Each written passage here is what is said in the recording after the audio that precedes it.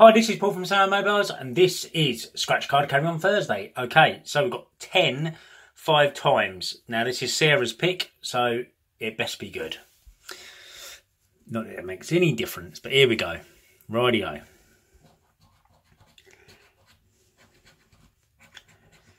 You'd like to say we'd have one win, at least.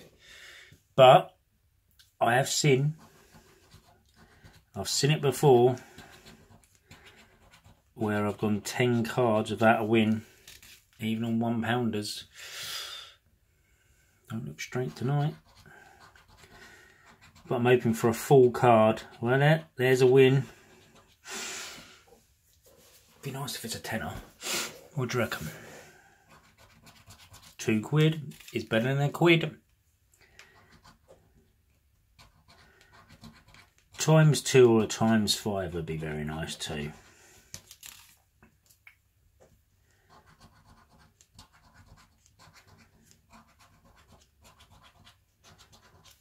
Nope.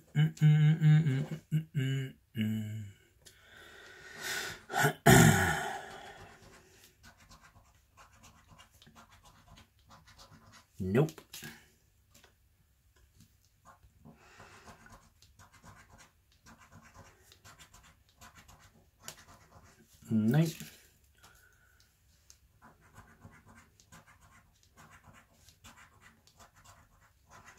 Ooh. Ooh. Yeah, times two. For a fiver, for a quid, got four quid. Make this one a times five for a fiver. Happy. Come on.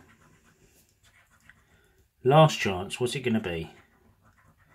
Oh, could be. No. It's not a win. But we've got £4. Okay, guys.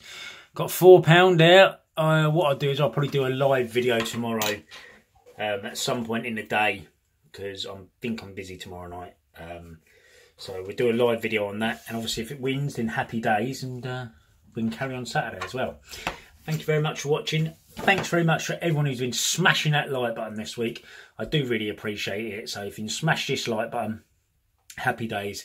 And I will see you all tomorrow. Peace out.